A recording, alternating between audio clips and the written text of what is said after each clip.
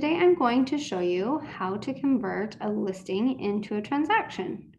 So from your home screen, you're going to click Manage Listings. Then you're going to find your listing. Once you're in this screen, click Checklist. And then simply click Accepted Contract. If you've done a buyer before, this screen should look familiar.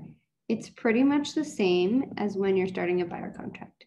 So you're going to put in the MLS number.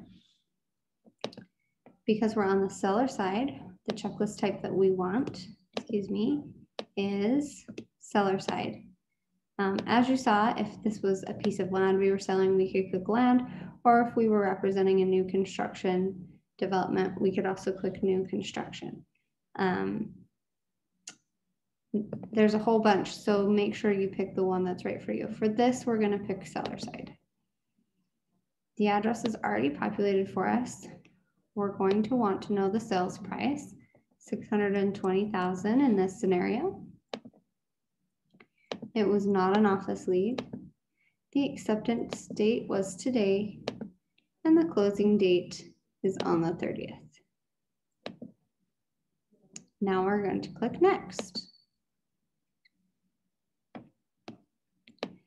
Because we've already input the seller's information when we made our listing, we don't have to do that in this screen. However, there was no place to put an email, and I always find it nice to have the seller's email to make it easy to send documents. So simply click edit and enter their email. John.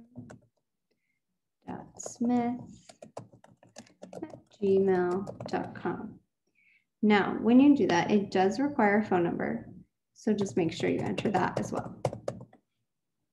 Then click save. Now we click next and we put in the buyer's first name, which we will do sheriff. Except that's not how you spell sheriff. Woody. We probably don't have other information on the purchaser. So that's enough. Next, we're going to need the title person, fake, fakerson, fake at faketitle.com,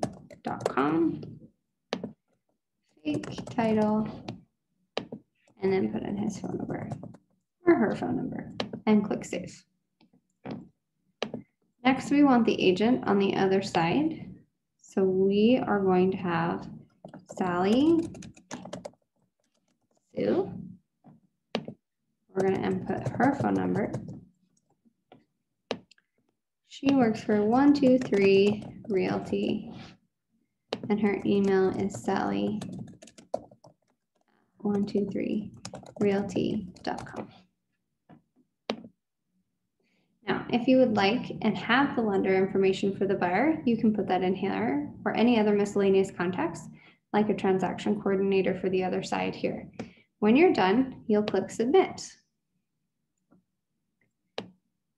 This will bring you up to the commission info. You've already put in the listing and sales commission. When you did the listing, if anything has changed when going under contract, you can adjust that here. You can also put in your TC fee and who that would go to here, um, as well as any referrals here or other deposits like earnest money. When you're done with that, simply click submit. And you have a transaction. All of your listing documents will still appear at the bottom in the listing documentation section. And you can input all of the documents regard or pertaining to the transaction here.